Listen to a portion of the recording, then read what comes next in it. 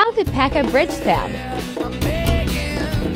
Kite Mega Knight with Battle Ram to your P.E.K.K.A. Don't be afraid to take some damage, or sacrifice the tower for a huge counter push.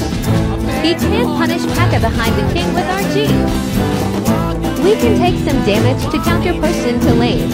We have a free P.E.K.K.A. on the field, and he has no Elixir to defend. Always use low to avoid the bandit charge.